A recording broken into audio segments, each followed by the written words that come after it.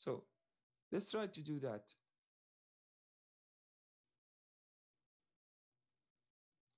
Yeah, of course, this will keep happening.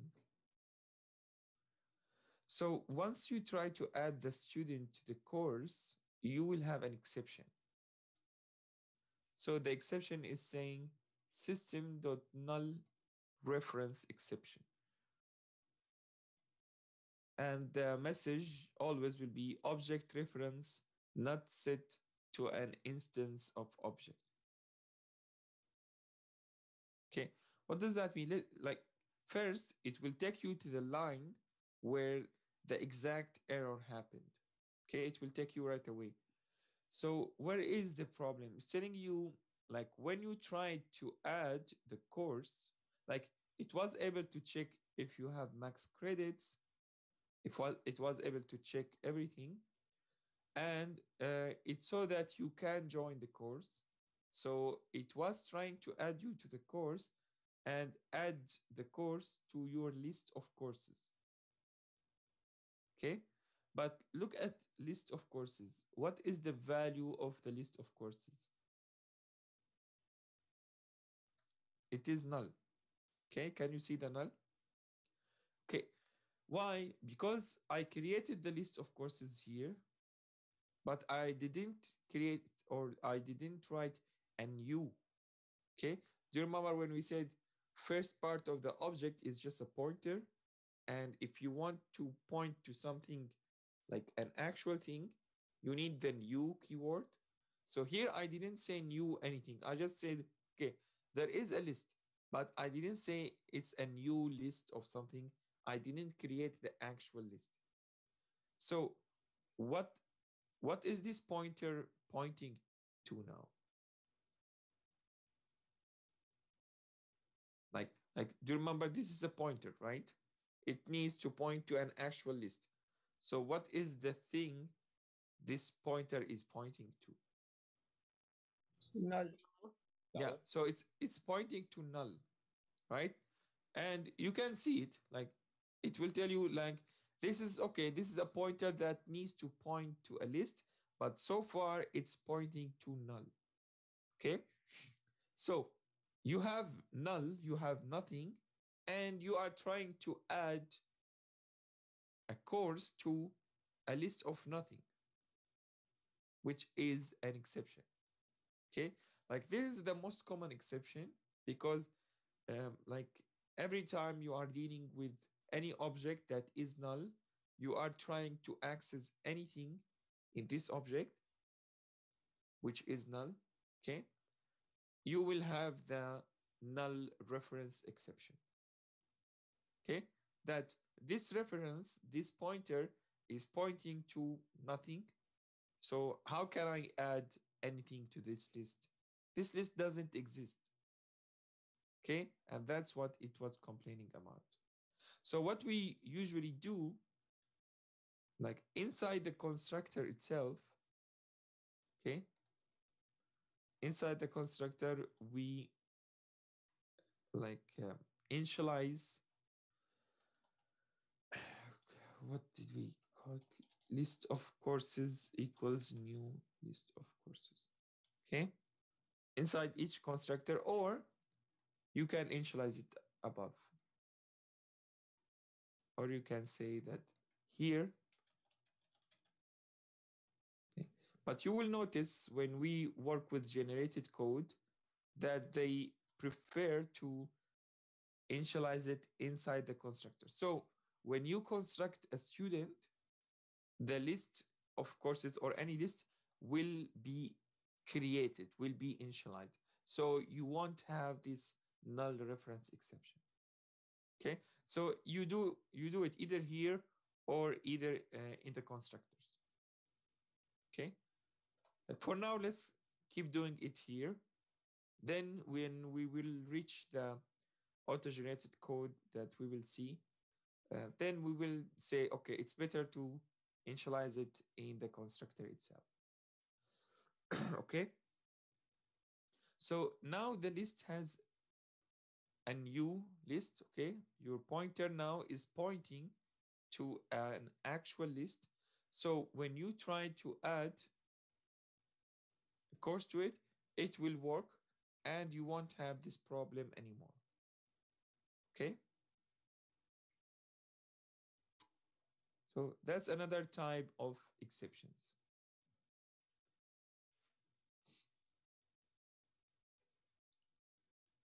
Okay.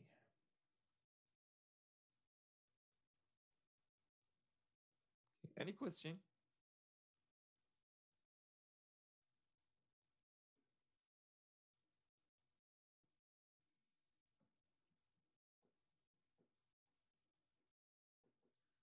Okay.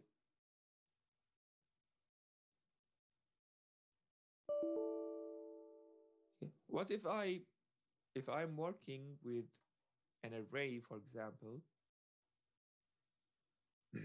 an array of integers. Okay.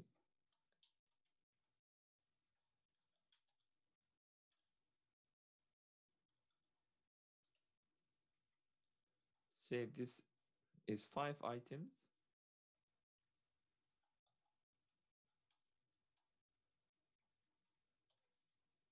Okay. Of course, you don't need, when you specify the actual contents, you don't need to say what is the length. Okay. Okay. So I want to start like maybe examining what I have. So I say, okay, print array zero. Then at some point, I said print array five. Okay, because I know, oh, okay, one, two, three, four, five, and I want to print the fifth number. Like I forgot that indexes, they start from zero. Okay, what, what happens now? Let's see.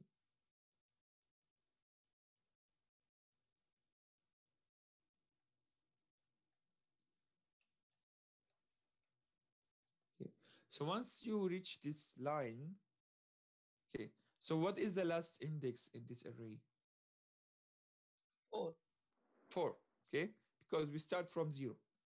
Zero, one, two, three, four. I'm asking for the index number five. So I'm asking for something that doesn't exist, that's outside that ring.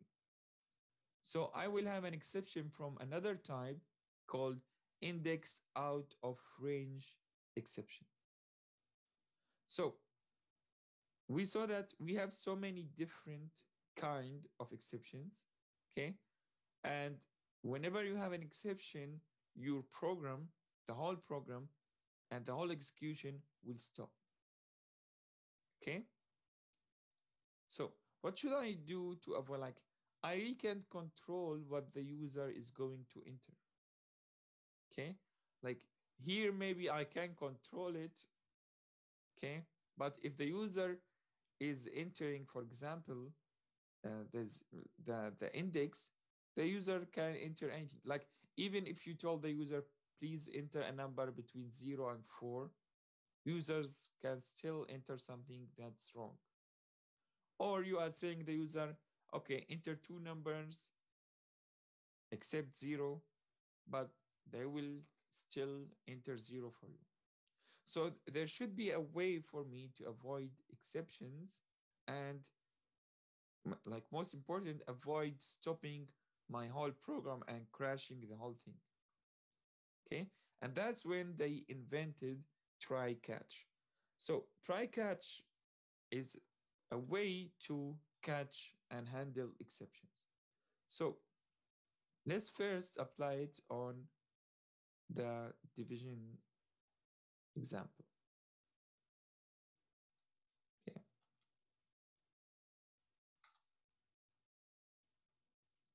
So the code or the block that you think could generate an exception, you put it inside the try block. So just type try and write the, the block that you can that you think is going to cause an exception. Okay? And then you can say, okay, if I caught an exception, like catch the exception. Okay, like if if an exception happened. Okay, so if an exception happened, I don't want it to destroy my whole program. I want to catch it. And then I want like to do anything with it. So here I want to show the user um, a message, for example, uh, something like uh,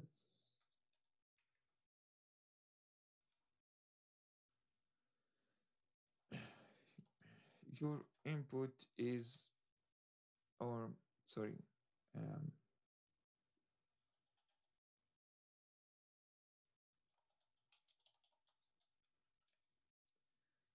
the operation uh, is invalid okay just some kind of general i want some kind of a general uh, message because we will try to make it more specific soon. Okay? So so what i'm doing here my code is still the same but now i surrounded my code with try and catch. So inside the try you write your usual code that you think may cause an exception. Okay not not everything in your program.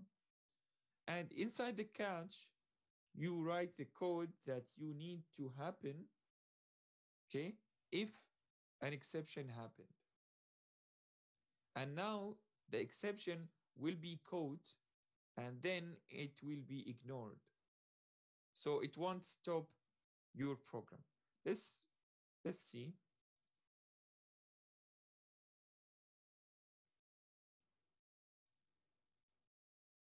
Uh, of course, we need we need to stop this one a little bit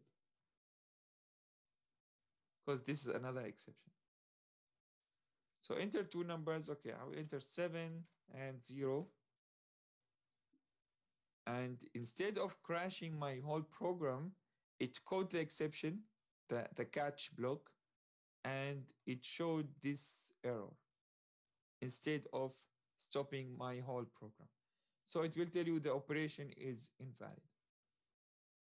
Okay, and that's how I catch any exception. Okay, now you may notice something else. First, is it is it clear what did we do in the try catch? Okay, now you may notice something else that okay, what if the user is like extremely stupid and he like instead the first number he entered Mike. So now you have another exception called format exception. Why? Because I am like I assume that no one is stupid enough to enter a letter instead of uh, a number. But someone wrote the wrong thing. So now I have something called format exception. Format exception from its name, like I can't convert a word to a number. It's the wrong format, right? So, so what, what types of exceptions we saw so far? Divide by zero exception, format exception, index out of range exception, and null reference exception. Okay, so so now I will notice. Oh, even the first two lines they can they they could make an exception.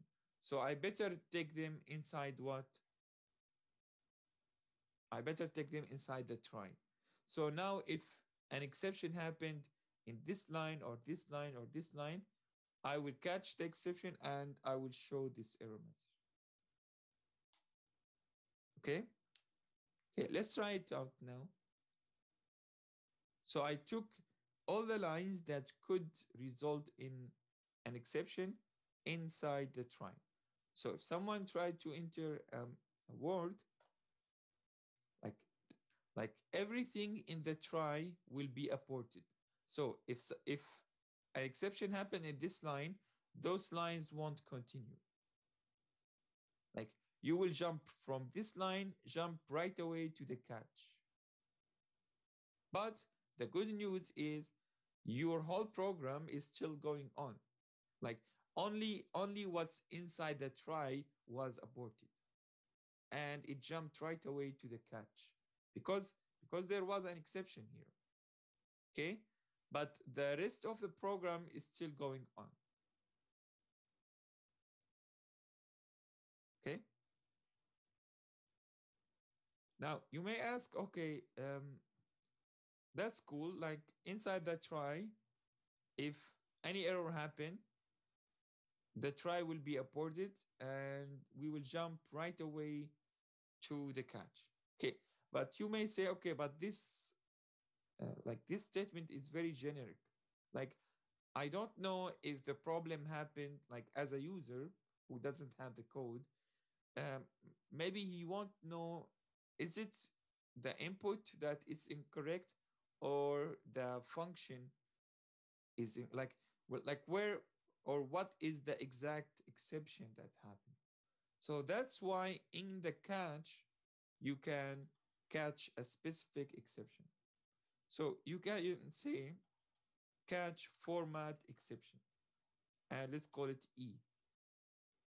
So if i code a format exception e i will do for example i will write the input is invalid. And then you can write the exception message.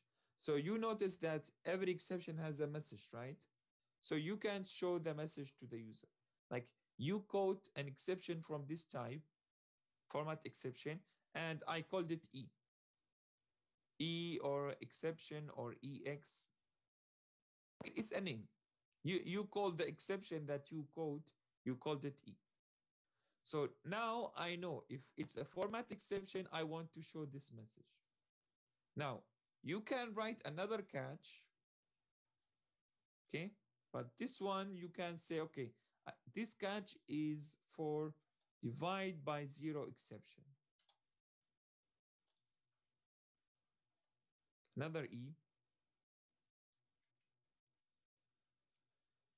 and here you can be more specific about the problem that you have and you can say can divide by zero. Okay and you don't need to show the for example the error message so so you have the exception okay? You can do whatever you want with it. So the exception has a message has inner exception has stack trace. So you can use it or not, that's fine. But the thing is, this catch will work only for divide by zero. So like here inside the try, there could be multiple types of exception that could happen. Okay. So what we're saying, okay, when you catch an exception, if it's from this type, come here. If it's a divide by zero, come here. Okay. Then at the end, we usually write a generic exception, a generic, a generic catch. So this is for all the other kind because the exception that could happen here could be from any type, right? Like you don't know. But you want to be very specific when it comes to format exceptions and divide by zero. And then at the end, you can say, okay, if I code any other kind, so exception is like the father of all exceptions. Okay. So any exception will go through this catch because this catch will, will catch any kind of exceptions. so here you can write an um, like generic error message.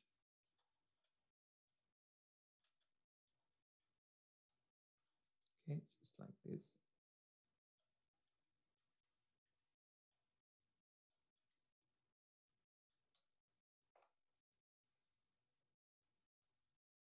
Okay so when it comes to try you can write only one block of try but when it comes to catch, you can write multiple catches. Each catch is specialized in catching a certain type. That's if you want. Of course, you can only write this one, which will catch everything. Okay? Like this one will catch everything because exception is the parent of all exceptions. Okay? Like any other exception is a child from this one. Of course, child and parent is inheritance. We didn't study inheritance yet, but that's fine. Okay?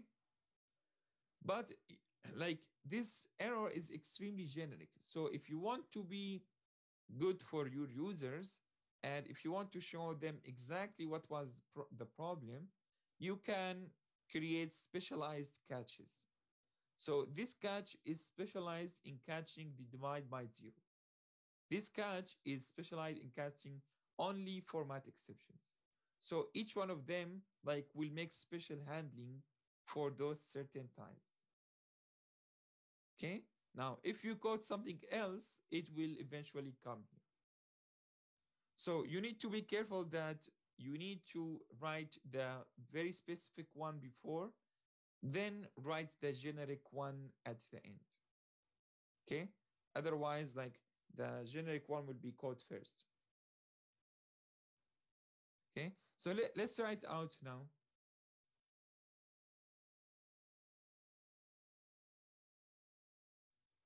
So if I wrote like something wrong,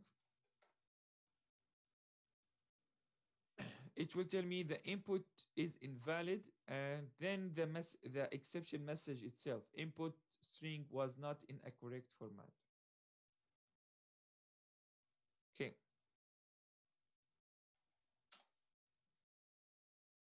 what if i try to divide by zero? So instead of this generic an error hand error happened or something the user will know oh yeah now i know like as a user now i know exactly what was the problem. It was can divide by zero. Instead of seeing some generic oh an error has occurred. Okay which error? I don't know. Okay. Now if anything happened other than the format exception or the divide by zero exception it will come here okay So uh, this is like almost the most common way of handling exceptions.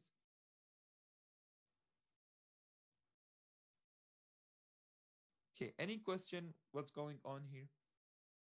So exceptions and catching them is something that we will do in almost every system. So you need to really to make sure that you understand them like completely. Uh, Mohammed, Yeah. I, I have a question, but not related to this cat, try and catch, but it's just like, how did you do with the CW when you when you enter CW, and how how did it make it to console.write? Uh, yep, write CW and um, click tab two times. Click tab two times. Oh. Yeah. Oh, oh, thank you.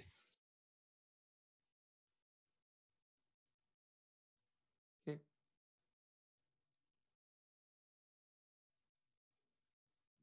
Okay, any any other question? Okay, so the generic rule, the best like the best code you can write is the code that handles exceptions like first the specific types, okay, some specific types. Then at the end you handle some kind of a generic type, okay, which is the exception. and the more like meaningful and specialized messages you show to the user, the more like the, the better your program will be. Now the users they know exactly what is the problem rather than always seeing some kind of a generic issue. Like it's it's really annoying when, for example, you are working in some kind of like a big system, like Photoshop, for example. Okay. And then just a message that, oh, something bad happened. We will close now. Okay. You have no idea what happened. You know, you lost your work. You can't save. so exceptions are pretty annoying if they are not caught properly and handled properly. Okay. Mohammed. Yeah. Um, I noticed it doesn't like stop your program, but it does make it exit after. Can you make the catch like loop back to the try? Uh, you can, but it's extremely bad thing to do. Like you, like now you are not, um, like you, your your code and your statements are not sequential as they are supposed to be. Like you can use Go to, which is extremely bad uh, coding style. So, you like you need to think about a way to make your code continue. Like like how would you continue? Like here, imagine that this guy uh, entered like his name, okay, and there's an exception happen in this line. So when you will come back here, how how would you divide? Like he he entered the wrong thing in the first place.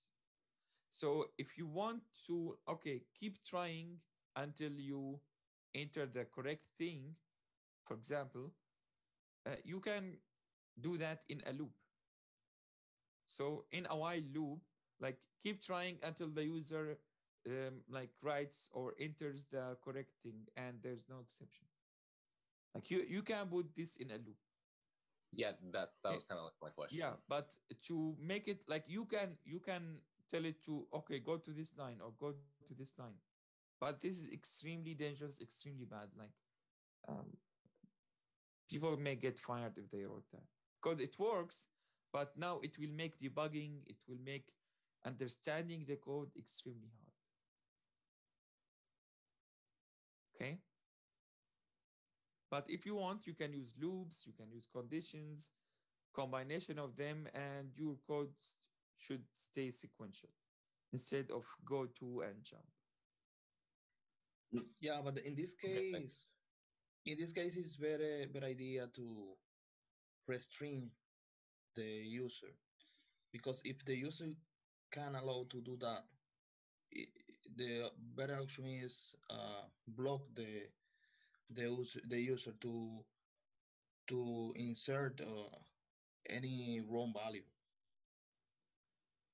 Uh, yeah, but I didn't understand like what what is your point exactly? Like what should we do or Okay, I mean, if you cannot divide by zero, yes. So if the user will be insert the number, it's better idea to block that the user put the zero in the second position instead of uh, use the try and catch to validate if the if the you mean in the front end like uh, like Yeah. don't allow him in the front end? yeah Yeah, well, of course you should like like for example, when the user is trying to to enter anything, like you should do some validation, but you also need to do validation in the backend.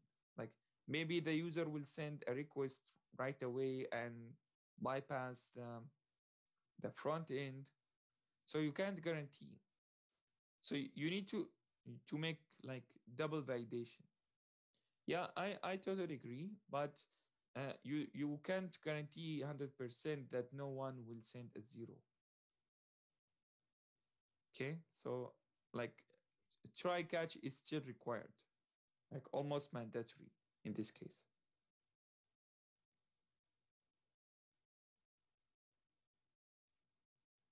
Okay, so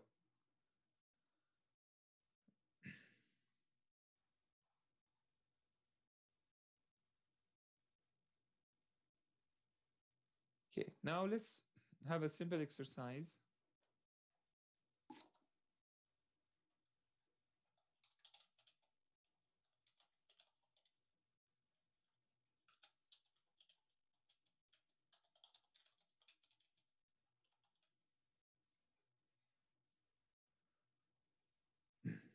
Okay, so I want you to go online and find a like one easy way, okay, or the common way uh, to write a string to a file in C Sharp, a file on your hard disk. So like you can open in your C drive or D drive or whatever drive you have, okay, and create a file here. Oh. This one has permissions. Okay, so try another drive if you have. Okay, to write something to a file on your hard disk. Okay, let's find it and let's write a function that you send a word and a file to this function, a file path, like where is the file, and it will write this word to this file. Okay. Okay, let's find out, uh, let's, let's, let's search for it and let's try to make it work. Okay. Write a string to a file in C sharp. Of course, this will require new libraries and new namespaces.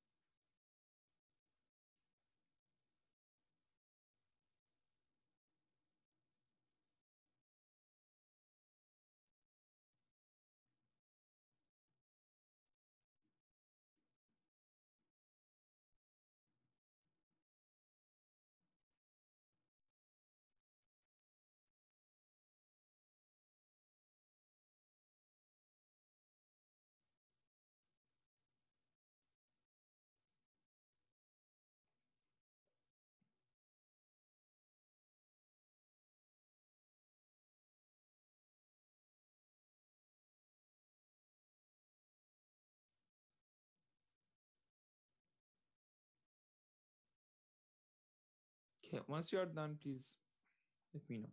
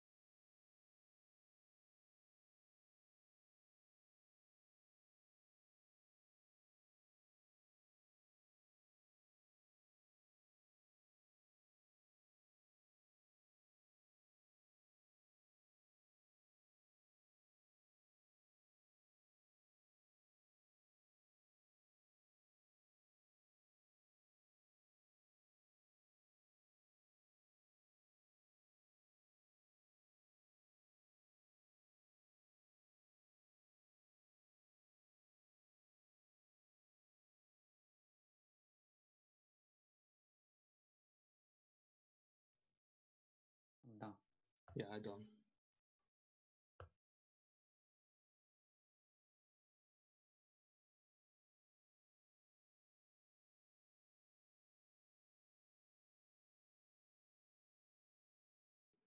Yeah, I'm done.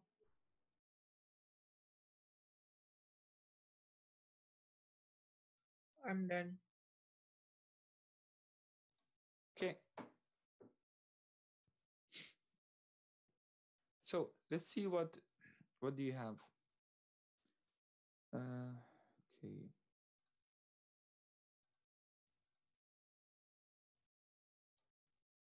Okay, Sagar, can you so show us uh, Yeah, what do sure.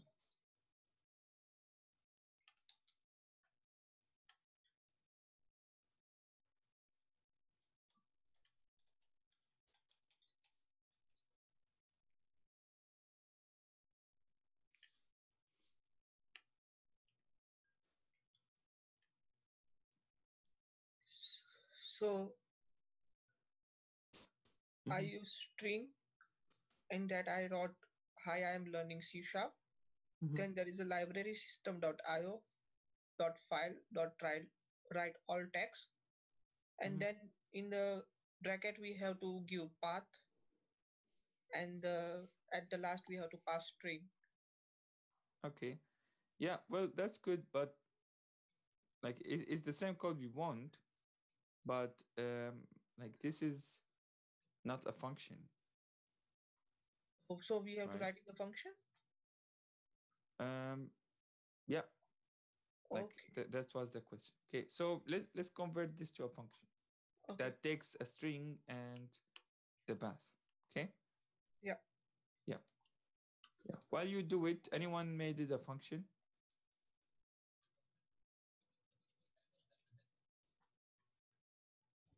Mm, yeah, but I used file dot write all. Okay, yeah, it, like there are many ways to to do it, but like um, let's see.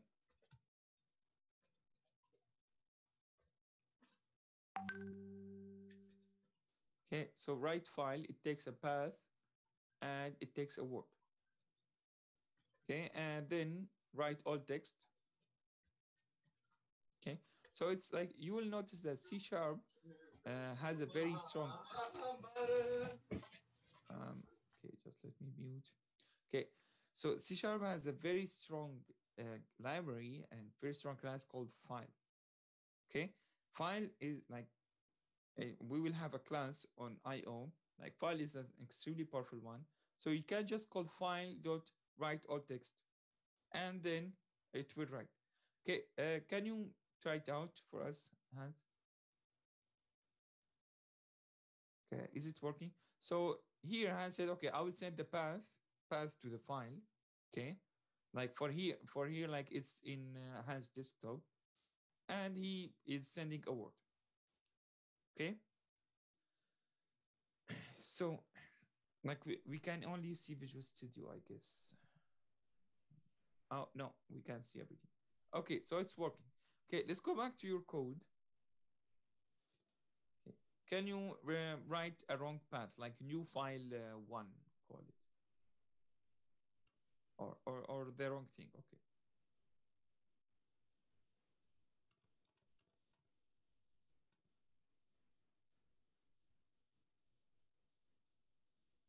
Oh, this. Oh, sorry. This. Uh, Oh, this uh, function will write the file for you if it's if it's not there. Okay, let's let's write let's write uh, uh, like a hard disk that you don't have. Yeah.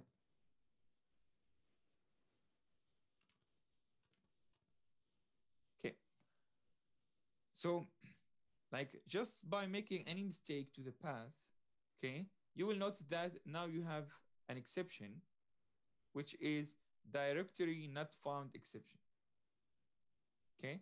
So, but uh, Hans is using write all text. This one will create the file for you if it's not there already, I guess. Uh, I like I don't know all the functions, but looks like that's it. But let's take a look at this one. It's telling you directory not found exception. Okay, and when working with files, it's very common to uh, uh, like have these issues. okay, so thank you very much, Hans. So now we want to uh, like learn something else when it comes to try and catch. So let's write this function.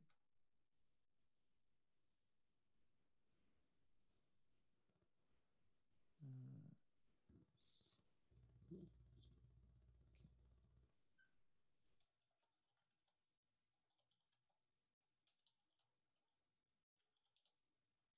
Okay, this one takes string file or or let's say path and string the string that you want to write. Okay. So now like there are many ways to do it. I will use one called file stream. File stream if equals null. Okay. Then I want to Uh, instead of try, yeah, this file that open.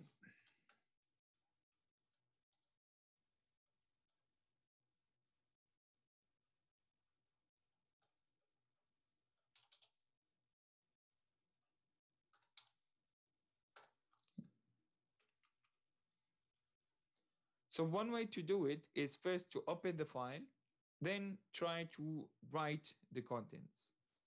Okay, so uh, if dot write, then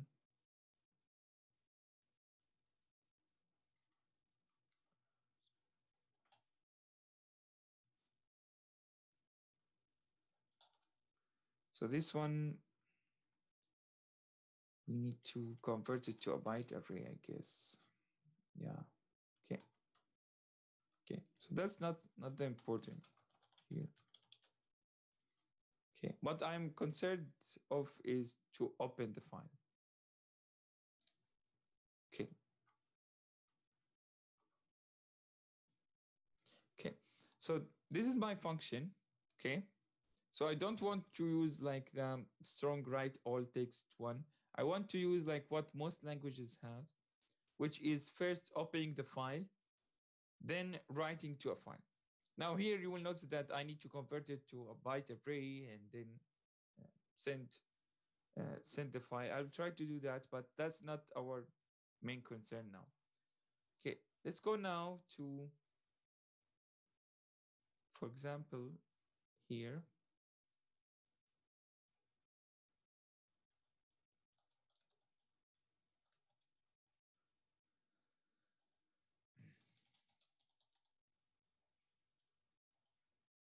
Okay, and string the path. So let's let's create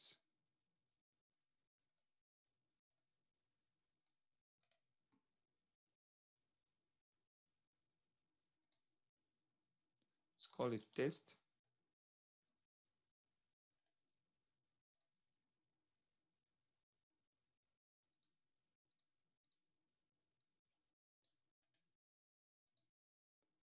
Let's just take the path. Okay.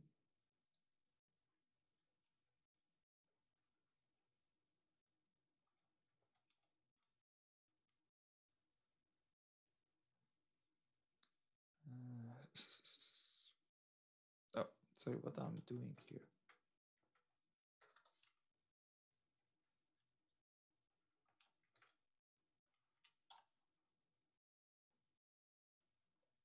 Okay, and then let's send it to a function.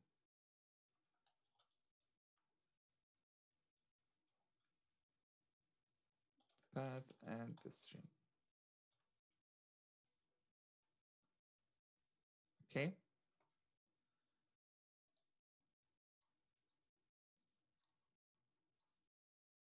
Stop those guys here.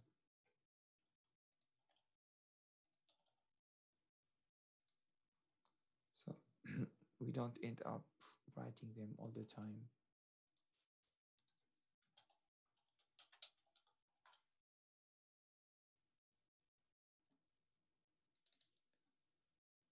Okay.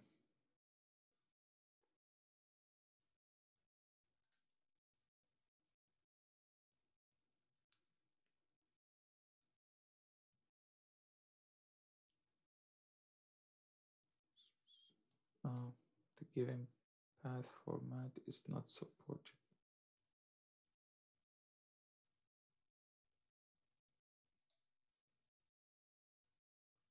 Well, it looks like a good path. What's the problem here? Hmm.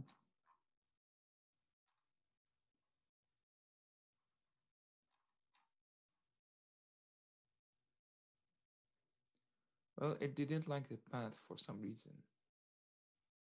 Although it's correct. But Maybe you should not add, add the at in the path. uh, well, it's it's fine. Yeah, well, maybe this one doesn't like the at. Okay. But it should be the same. That's strange.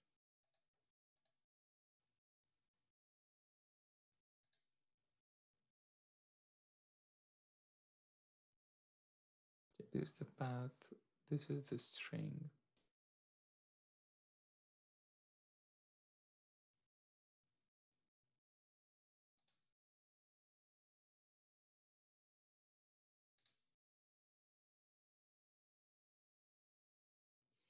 Yeah, that's strange. I'm not really sure why it's it's not liking the path here. Although it should be like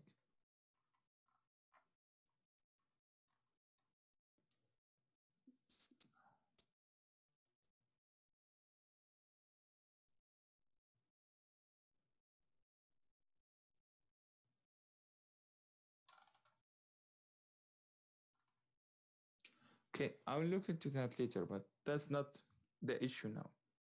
Okay, my issue is with the open with the open statement. So now you are trying to open a, a file. Okay, you are trying to open a file for writing. Now the problem is, imagine that you opened the file. So you opened a stream to the file. Okay, and you are trying to write or read or do anything okay? And then an exception happened. Now maybe you can write try catch and you can like avoid crashing your state your your uh, your whole program. But the problem is an exception happened and you still have the file open. Okay? For example, imagine you are working with a database. You open the database and an exception happened, but the database is still what? Is still open. So that's that's the main issue is that sometimes when you have a problem in try, you need to do some cleaning up after you finish your try catch like whether whether an exception happened or not there's there's some cleaning up that you need to do now have you ever tried to open a file in or delete a file sometimes? Like sometimes when you want to delete a file in windows it will tell you no i can't delete the file because this file is open somewhere.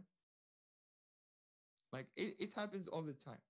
Because another program opened the file to do some work and that program was aborted okay or an exception happened but the program the, the connection to that file is still open okay?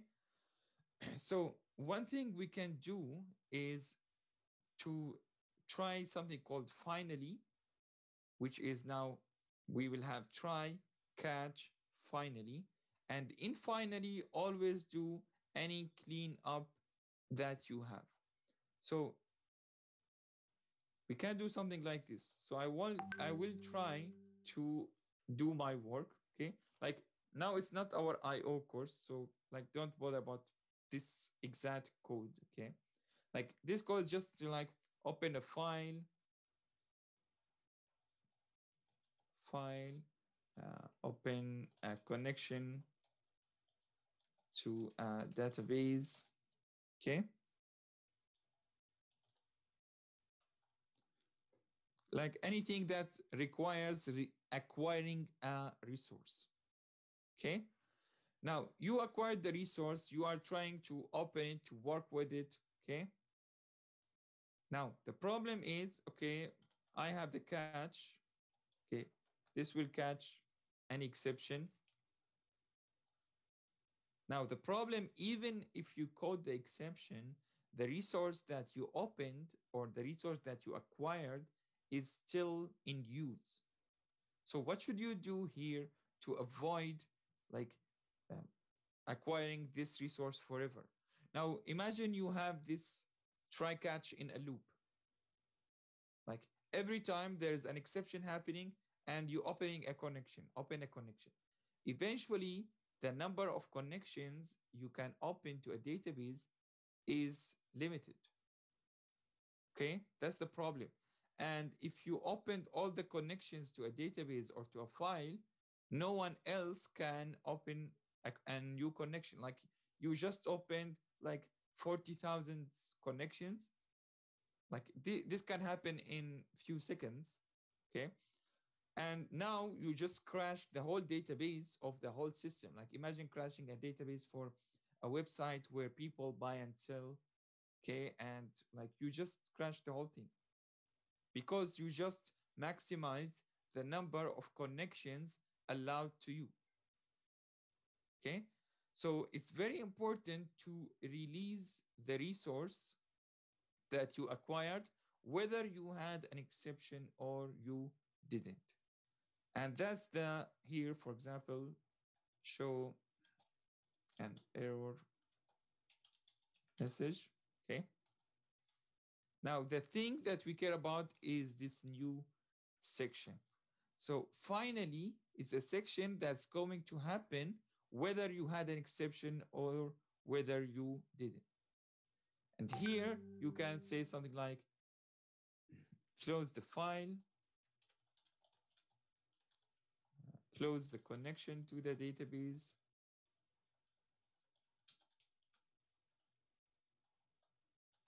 release the release any resources okay so like we don't know databases we don't know files yet so i don't want to go into the details yeah sorry for like bothering you with this one but this is the like the most common example for like when you are doing division there's nothing to clean right in finally like the only um, like most of the time uh, when you want to clean and use finally is when you are acquiring a resource. Okay. So that's the job of finally. But be careful that finally you will be executed whether there's ex, uh, an exception or whether there isn't. Okay. Like it's not only when there there is an exception. Okay. It will happen any anyway. Okay. And you can use it to free the resources, to do some distractions for objects in memory that you don't want, some cleanup, any other thing. And now you are 100% sure that you will not exhaust the resources of the file or of the database or of anything. Okay. And like it, you can also use it in any scenario. Okay. But this is like the most common one. Okay, so is it clear what is the job of finally?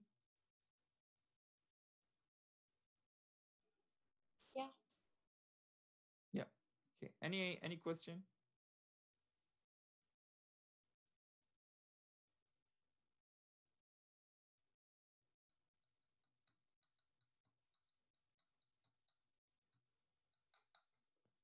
Okay. so we'll take a um, quick break now, just 15 minutes break. And then we'll try to use exceptions in our code here. Okay. And we will also try to write our own exceptions. Okay. Yeah. See you in 15 minutes.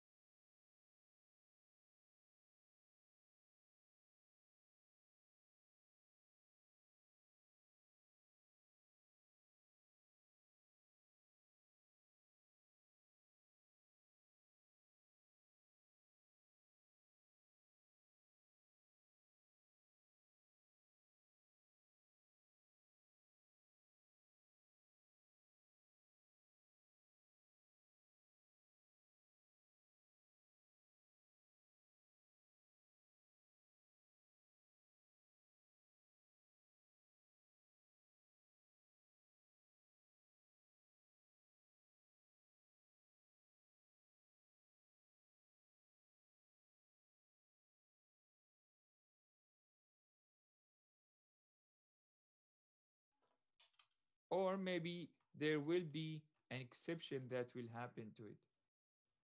Okay, so here I can say, okay, if if I quote, uh, yeah, by the way, if you didn't say what is the type of the exception, okay, if you just say catch, it will catch everything. Okay, if you didn't specify any type. Okay, so if you said catch, and then here, you know that join course returned an exception. Okay, something happened. So here you can, now you can show to the front end to the user. Okay, now uh, there is, for example, um, like, or or you can catch the exception e itself. And since we are returning, okay, so one way is to console.writeLine e.message. Okay. So it's very similar. Do you remember the dictionary uh, when we were working with dictionaries? So take a look at a dictionary. So integer, integer.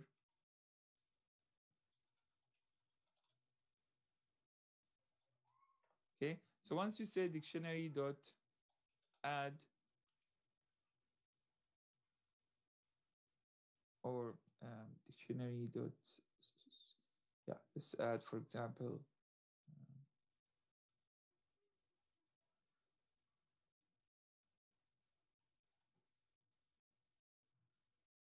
okay take a look at the ad. Okay take a look at the the the message that appeared. Do you see like down there they will tell you exceptions okay? This is, uh, from the documentation. It will tell you that be careful that this add function may return argument null exception if you didn't send like if you sent a null thing. And it may uh, it may result in argument exception like if you send the same key again. So here like you know that you need to be careful that the add could work and if it didn't work there could be an exception that is returned from it. Okay? And same thing goes for uh, for our join course. Of course we are not writing documentation yet so you won't see it but we will learn how to write documentation uh, very soon. Okay? So the join course now it needs to be some try inside try catch and now if there's a problem happened we will show this problem to the user. Okay? And of course you can show any additional messages. Like here show the original and any additional error message okay? Like you can make a combination for them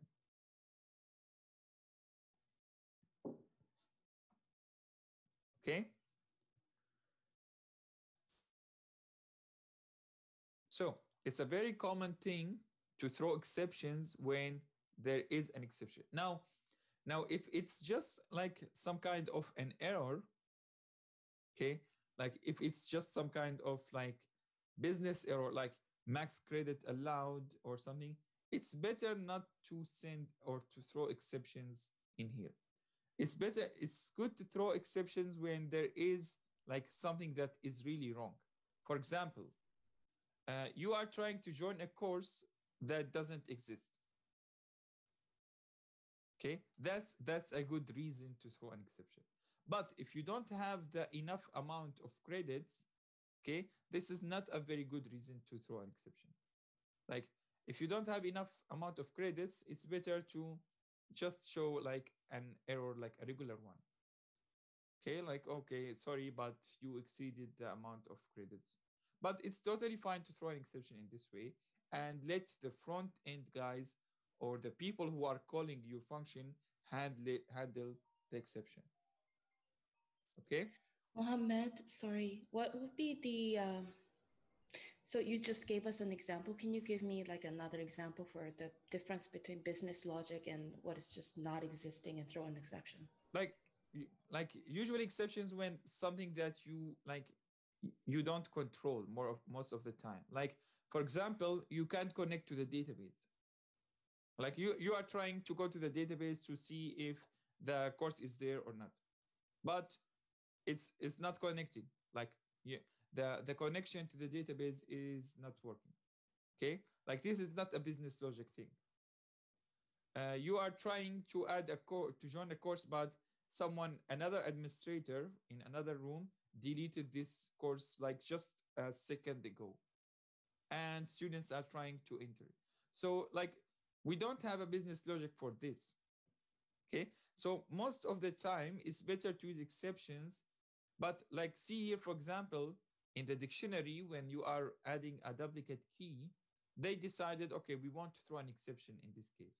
Because like for them this is extremely like extremely uh, something like totally bad. Like you need to avoid it at all costs. So they want to like warn you in the worst ways that there is an exception happening.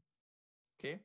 So it's it's a matter of choice okay? And you can discuss with your team when you are building your system that do you think we should return an error or a boolean true or false or an exception? Okay you have all the ways. But like do you remember when we said all the courses should be in institute? Did we create institute? Oh i didn't. Okay do you remember like you created something called institute right? Okay so the first thing you need to make sure that the course is in the institute list which is actually like a month from now we will use a database okay? Or less than a month actually.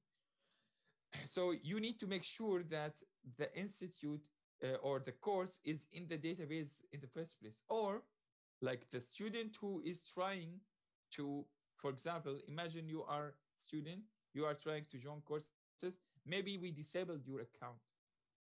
So if your account is disabled is deleted is any reason that's also a good, a good reason to throw an exception.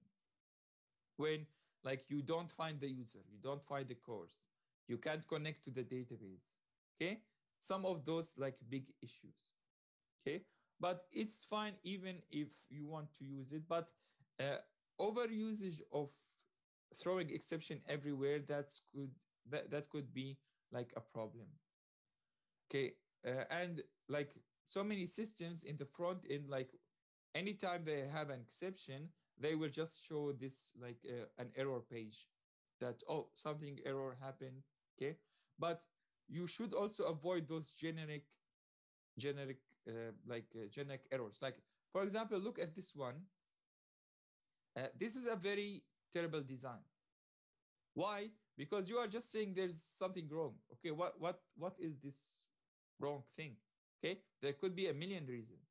You should throw very specific exceptions and handle them one by one. Okay like you should handle max credits allowed alone. You should handle that you already dropped out alone also. And maybe you should handle that the course is not found also also uh, in another one. now let's imagine for example that we want to create the institute. Okay? So uh, this is a class institute. Okay? And the institute has you know a name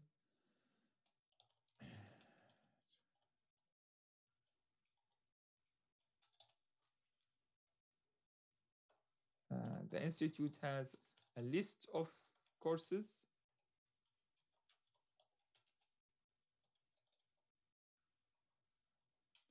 And the institute has a list of students. Oh, student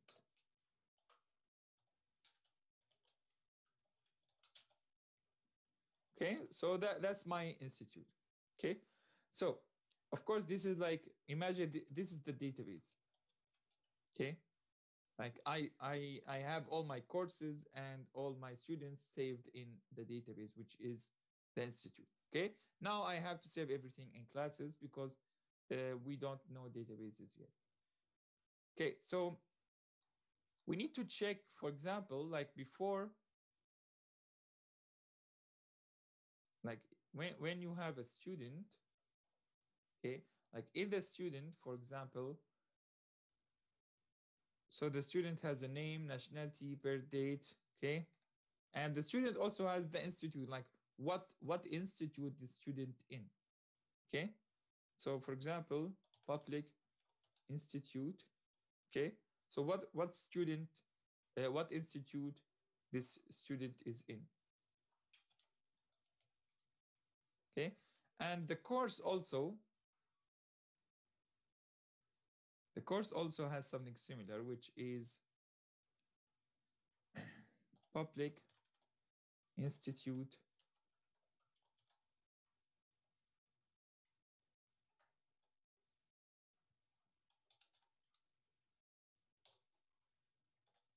Okay. So like what is the institute this course is in? Okay. So when i create a student I need to like assign this student to an institute. So for example, here, uh, okay, I created a student, I created a course. Before of that, before all, both of those, I need to say institute, let's call it MITT equals new institute. Okay. And MITT dot course uh, or let's add it later MITT. Now, all of this work is not necessary in the future because we will have databases, but we need to do it now. So I need to add this course to the institute, right?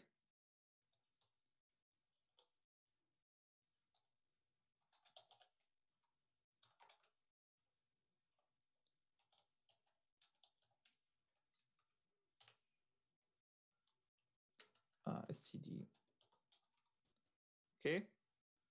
And also i want to add like the student dot institute okay.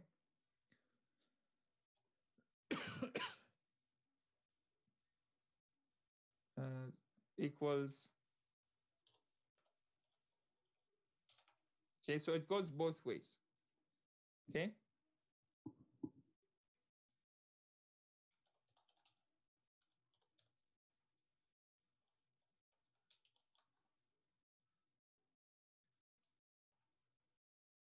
Okay, anyways.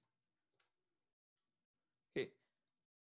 Now, like the, the whole purpose of this thing, what I'm doing here now is when I try to join a course, like the first thing I need to know or I need to do is to check if like uh, this course to join first like this course to, to join I, I need to check for nulls but let's let's say that uh, or sorry i'm in a student now so if this like this student dot institute okay dot courses like i need to make sure that the student is joining a course that's in the list of courses in the institute right?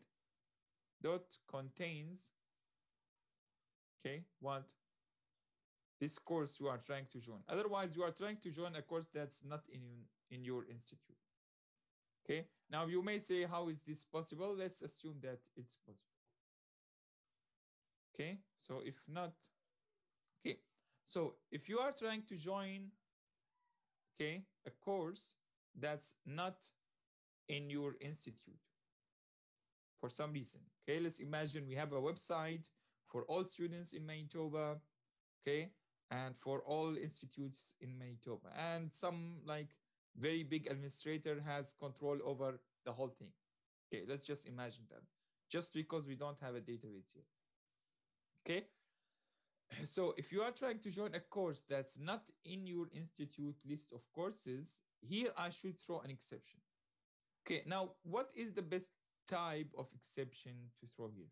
Is it uh, divide by zero or um, null reference exception or okay. So you will notice that none of the none of the uh, exceptions actually is suitable for me. Okay. Like i like most of them like and i don't want to retain that generic one. Okay. That generic exception one. I want like a specialized exception just for my system and that's when you can create your own exception. Okay so to create your own exception of course we can still use the same file. Okay let's have it in the same file. Of course like uh, you know like uh, now we are doing everything in the same file but the preferred way is to create a file for each class. So just right click on your project okay add and you will see class at the end so then you can create a file for each class okay? Rather than having everything in one file. I'm doing this just so it can be easier to send the code for you. Otherwise i will need to send like multiple things. Okay. So you can create a class for your own exception. So let's call it course not found exception okay how do i make this an exception? Like it looks like a regular class. Okay so to make it an exception you need to make it a child of the do you remember when we said the class exception is the parent of all exceptions? So if you made this a child just by using colons and make it inherit from exception that's how you say okay this is an exception class. Now okay. So we will study inheritance very soon. Okay. And we will talk about inheritance in detail. But uh, one way to do it is uh, like like th- this is the only way to do inheritance okay? But i don't want to go into details what what, what is inheritance how it works okay? But now i made this new class called not found exception which looked like any regular class. I made it a son of or a child okay? Just a child let's say so we okay? Of exception okay? And this is like the way in c sharp. In in java they use uh, the word extends okay? Instead of the columns. In c sharp they said okay let's make it easier and just choose uh, the columns okay? So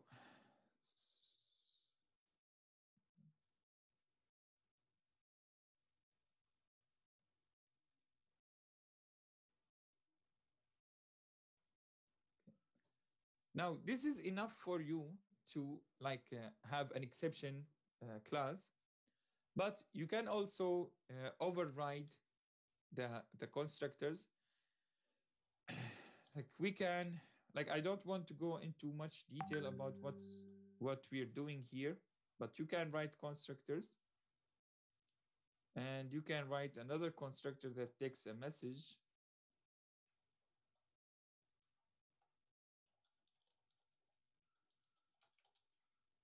okay and this one will call the constructor of the parent. Okay. Now when it's time for for our inheritance class we'll explain this in detail. Like what's going on what is the base keyword what does that mean? Okay. What are the conditions and the rules? It's a pretty like uh, a big topic. Okay. So we don't want to explain inheritance now. All what we need to know if you want to make an exception just create a class and and let it inherit from the parent of all exceptions which called exception. Okay? This is the parent of all exceptions. Any exception you see divide by zero null reference eventually it's inherited from this class. Let's for example go to divide by zero or, or format exception. Okay so go to definition. So format exception is inheriting from something called system exception. Okay. System exception is inheriting from exception. So eventually, like it's like a grandchild for it. Okay, so we will explain this in much detail, but eventually come to they all should come to this kind here. Okay, like eventually, like you can inherit from a son or a child of exception, and you can be like one of the grandchildren. But let's leave that to the inheritance class. Okay, now what can I do now? Now, for example, when I try to join a course, if this course is not here, it's not in my database, it's not in my list, I can throw new and you will notice that now course not found exception is showing up and you can throw it. Okay? And you can send a message like the course can't be found. Okay? So now the the caller of this function now they know that we have a specific exception for this case. Now they don't want to handle all the exceptions in the world like like this one. Now they can do another catch okay? But this time they will catch what? They can make a specific handling for this new exception that we just created okay? And now like uh, special handling for course not found exception. Okay instead of the general gen, the generic handling for everyone. Now you can handle it like now for example imagine like this page. Now you can uh, suggest the student like do you want to call the administrator? Do you want like if this an administrator it may redirect you to the create course page. Like this course is not in our system right? So maybe if we caught this exception i will send you to the create new course page to make it easier for you to create the accept to create the course right away. Maybe i will for example send an email to the like the dean. Like when we have an exception from this time maybe it's very critical thing that we need to send an email. Maybe we need to do some special handling okay you can't you can do all types of handling inside a generic exception thing right? So for each case for each exception maybe you have a set of like like uh, uh, steps that you need to do when you have this one. Like here for example redirect to uh, create new course page okay? Or uh, for example you can say uh, email why is not email the administration?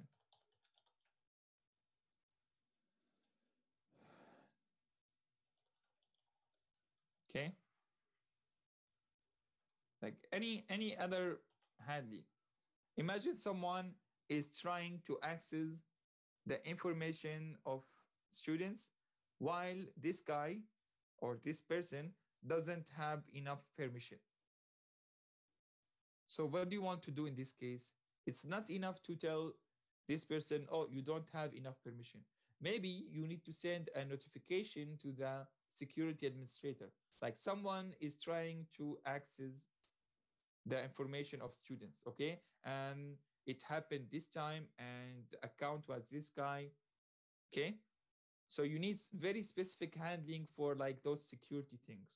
So you can for example create your own exception that's called permission is not enough or not sufficient permission exception. Okay? So handling exceptions like in specific types is extremely important and we should always leave the generic handling to the end. Like if everything failed then okay let's show you the general error message. Like something happened, we don't know, okay? But we shouldn't show this right away, okay? So finally, it's not mandatory. No, finally it's not mandatory. Okay. Try catch are mandatory. Like you can't have try, uh, you can't have try without catch or catch without try. But finally, like maybe finally here, um, for example, if we are talking about web, like delete the session of the or log him out, maybe, or or do something like it depends on. For example, if someone is trying to access some secret data, maybe you need to lock his account. Okay, if like maybe if someone is writing the wrong password, usually they lock the account after like five tries. Okay, so maybe you need to do something. Uh, otherwise, finally is not mandatory. Okay. So here I threw the exception myself. Okay. And then the caller of my code, which is most likely the front end, are okay handling it and they are doing what they are supposed to do. Like me as a backend developer, I don't know what you want to do. Like uh, I will tell you that the, an error happened. So another layer above me, another the another layer above the backend, they should take care of uh, like notifying the administrators, calling the security. Okay, this layer of the backend, the the layer that talks to the database, should only take care of talking to the database and saving and deleting. It shouldn't like do all the work. Okay, we will talk about that when uh, we design like our layers. But you may say, okay, why don't you just send like do all of this in the back end and like without any exceptions and everything? This is a very bad design. Like our functions shouldn't do all the work right away.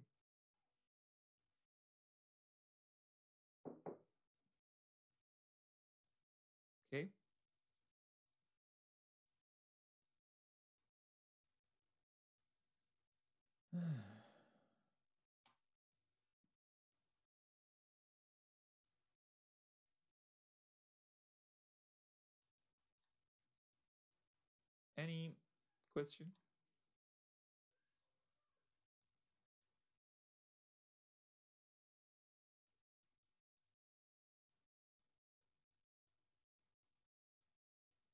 Okay, so three main rules when it comes to the like the clean code when it comes to exceptions. Okay, so now everything as usual, everything will work.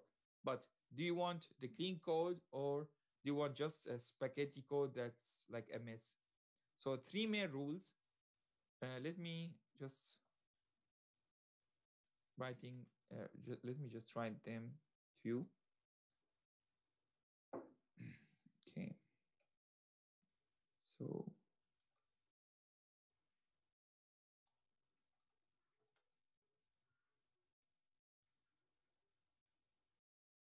So first one, catch exceptions starting from specific types. Eventually use the most general or the generic type. Okay, this one is like clear. Now, return exceptions, okay, for exceptional or outside reasons, like database is not reachable, file is not in the system, uh, the course is not in my, my database, okay? Otherwise, it's better to return a message or like true or false. Okay, that's the rule number two. The, no- the rule number three, okay, don't use, which is extremely important, don't use exceptions to control the flow of your code. What does that mean? Let- Let's imagine that, for example, I am doing, like, I want to do a calculator or something. Or uh, let's say about courses and students. So I will say, okay, I will try to join the course. If an exception happened, I will um, drop the course or, or do something else with courses. Or This is extremely bad. Why? Because you are depending on exceptions to control the flow of your code. For example, like here, let's think about a good example. Like I will try to join a course. If I failed, then for example, I will um, like um, what what can you do? Uh, leave the course, join the course. Like I, I really can't think about any logical operation to do when you fail to join a course. Yeah, okay, let's talk about waiting lists. So imagine, for example, I will try to join a course. If I failed, I will, if I failed with an exception, I will join the waiting list of a course. Okay, it's so it's like I am allowing exceptions to control what's going on, what's going to happen with my program. So exceptions should only be caught. Okay, I'll catch them, show the message, the error message to the user, and that's it. And then close whatever. You shouldn't take a decision based on exceptions. Like if an exception happened, okay, let's go and uh, order a transcript or do something else or leave a course or join a course or okay? Don't rely on exceptions to control the flow of your program. Exceptions just catch them decide what you want like uh, log the error uh, contact the administration okay that's it. Don't do another operation based on them okay? That's like extremely important and so many people they don't follow this rule. Okay. They will tell you okay uh, like based on exceptions they are controlling the flow and taking decisions. Um, they see that it works. Yeah it works but it's a nightmare for testing for finding bugs for like for everything for maintainable maintainability. Okay. So those are the three main rules when we want to write like clean exception handling. Okay now it's very easy if like I, I can finish this class in 10 minutes. Okay try and catch. And finally that's what you read when you go online. But the main thing that we want to learn is how to write clean code how to create good designs. Okay this is what distinguish a person who only knows the syntax. Okay a person who only knows the rules. Okay this is integer this is string. And the person who knows what he's doing. Okay? And that's why like for many of our students you will notice that in two weeks three weeks they were offered a job. That they will see that they do care about what they're writing. Like it's a very big problem with new graduates that they just work a code that works. Okay? Like code works. That's nice. And they feel very happy that it's working. Yeah but the more you add to your system the bigger it gets that like it eventually it will reach a point where it's not maintainable anymore. Like you can't re- like uh, you know those houses from um, cards and like eventually when it's too big if you added like a single change the whole thing will collapse. Th- and this is the same story with with our code if it's not clean.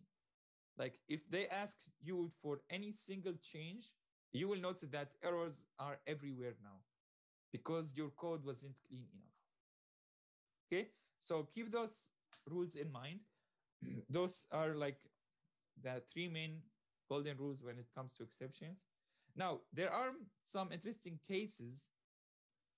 Like what if you are catching an exception? Okay?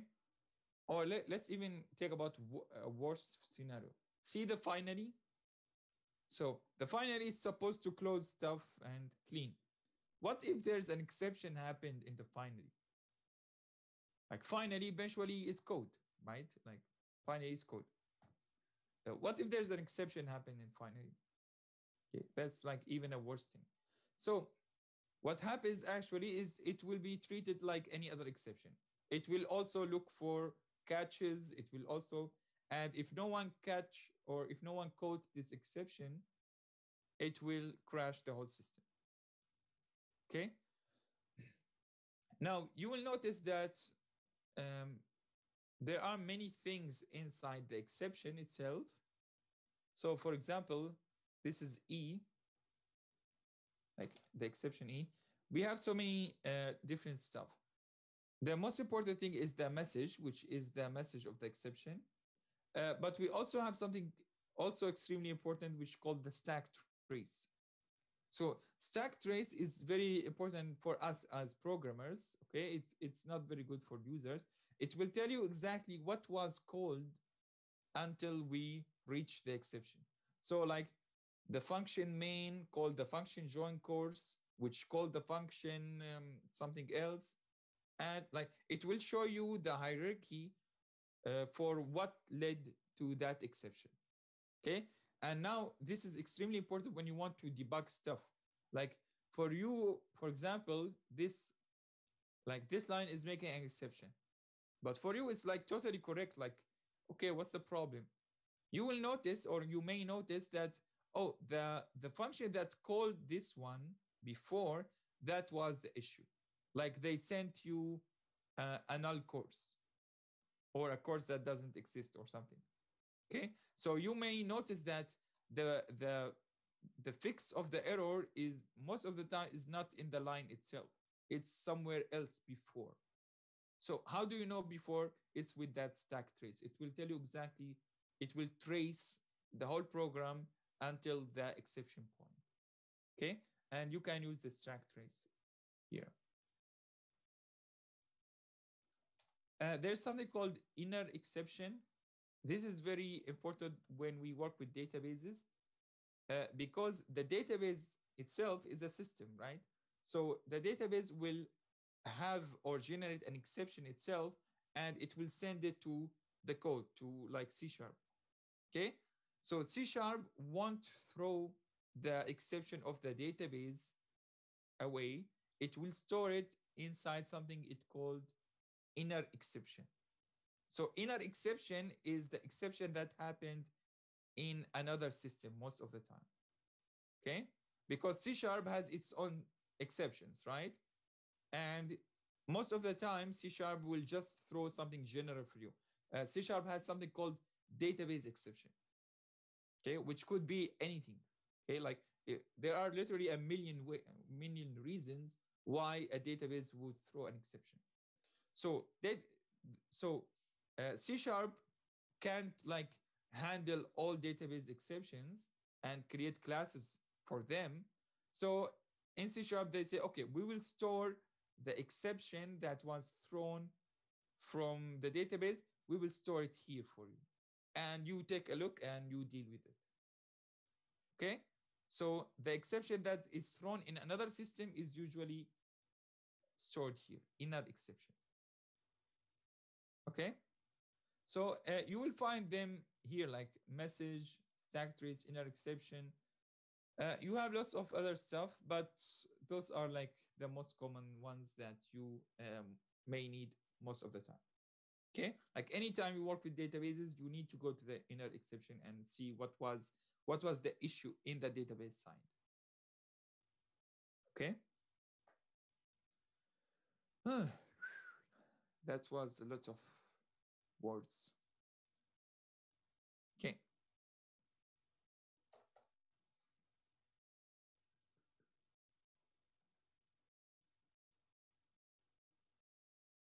Okay, any question about exceptions in general? Uh, so we saw exceptions in general. We saw try catch, try catch finally. Uh, we saw how to create a, an exception from our own so we can handle it. Uh, we saw the general rules of handling exceptions. Okay, different types. Okay, so that was like everything we need to know regarding our exception handling. Okay, um, we can take after the break this hour. We can just take it a break before the lab. Okay, and of course, if you have any questions, you can still message me anytime. Okay, but when it comes to exception uh, exceptions, that's our class. Okay. Yeah. So I will send you uh, the whole code. Please uh, try to review it. Uh, once you understand the I, the concept, try catch finally. Okay. Uh, when to throw exceptions instead of returning a boolean or instead of just an error message. Okay. Don't use exceptions to control the flow of your code. Make exceptions just for catching, maybe registering what happened, and that's it. Okay. If you understood those things, then that's everything we need to know for now. Okay. Uh, there will be a time when we learn more about exceptions and like some um, like more specific details. But for now, that's more than enough. Okay, any question? Okay, so I'll let you review the code, see if you have any issues with it. Okay, and whenever you have a question, just whenever you have a question or an exception, okay, just let me know. Okay, so after the break, 12.30, um, let's take this hour just to relax a little bit, and then we will have the lab. Okay, unless if you want, I can tell Zach to uh, try to um, make it right away. I don't know what do you prefer, but I also don't know if he's available. Uh, okay, okay, let's leave it as as is. Okay. Yeah, try to have like a lengthy breakfast, like two hours breakfast or two hours lunch. Okay. Yeah. See you tomorrow, guys. Bye. Bye.